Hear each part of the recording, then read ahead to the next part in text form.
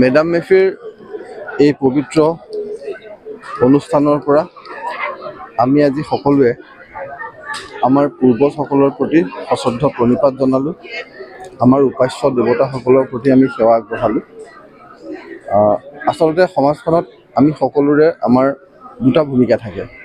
এটা হ'ল আমাৰ উত্তৰ পুৰুষ হিচাপে আমাৰ এটা ভূমিকা এটা আৰু এটা পূৰ্বপুৰুষ হিচাপে আমাৰ এটা ভূমিকা। আমাৰ পূৰ্বপুৰুষসকলে আমাক যি ঐতিহ্য পৰম্পৰা সংস্কৃতি দি গ'ল সেই আমি উত্তৰ পুৰুষ হিচাপে পাইছোঁ। আৰু সেই ঐতিহ্য সংস্কৃতি পৰম্পৰাক ধৰি ৰখা সুদৃঢ় কৰা আৰু অধিক শক্তিশালী কৰা আমাৰ দায়িত্ব। কাৰণ সেই ঐতিহ্যৰ আমি বৰ্তমান ৰখীয়া।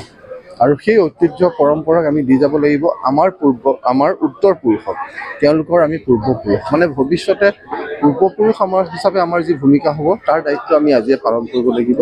আমি যাতে এই দুয়োটা ভূমিকা উত্তৰ পুৰুষ হিচাপে আৰু ভৱিষ্যতে হ'বলগীয়া পূৰ্বপুৰুষ হিচাপে আমি যি আমাৰ যি ভূমিকা যি দায়িত্ব আমি যাতে সকলোৱে পালন কৰিব পাৰোঁ সুচাৰুৰূপে তাৰ কাৰণে আজি আমি সকলোৱে ইয়াত এই পবিত্ৰ মেডাম মেফিত আমি সকলো উপাস্য দেৱতাৰ প্ৰতি সেৱা আগবঢ়াই আশীৰ্বাদ বিচাৰিলোঁ আৰু সকলো পূৰ্বজলৈ সেৱা আগবঢ়াই আশীৰ্বাদ বিচাৰিলোঁ।